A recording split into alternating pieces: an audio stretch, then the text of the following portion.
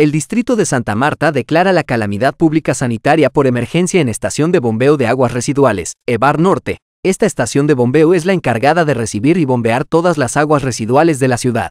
Esta medida extraordinaria fue impulsada por las graves fallas detectadas en el manifold de la estación de bombeo, una infraestructura vital para la ciudad.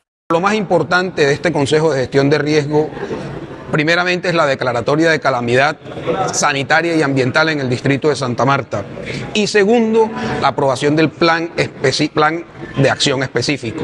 Pero además de ello, se vinculó al Ministerio de Vivienda para desarrollar mesas técnicas y gestionar además de manera inmediata, célere, casi que express, unos proyectos que se encuentran allí radicados y viabilizados para que sean atendidas estas emergencias en el distrito de Santa Marta con eh, la inversión de unos recursos aproximadamente por valor de 18 mil millones de pesos.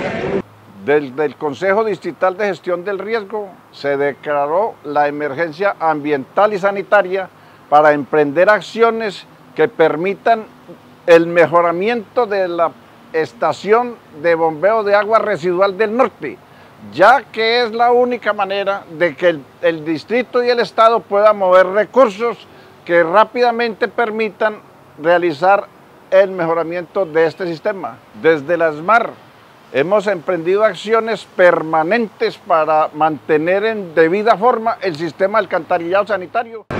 En la mañana de hoy acabamos de terminar el Consejo de Gestión del Riesgo, donde se hizo formal la declaratoria de emergencia sanitaria.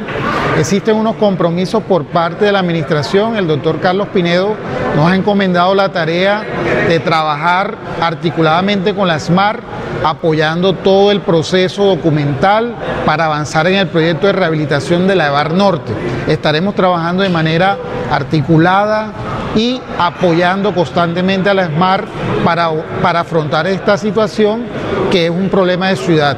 Los compromisos de parte de la SMAR son el de seguir actuando en la EVAR Norte en el sentido de rehabilitar o reparar el tramo o las fugas que tiene hoy el manifold principal y ese será el propósito de que se siga avanzando para minimizar el riesgo que hoy presenta la EVAR Norte.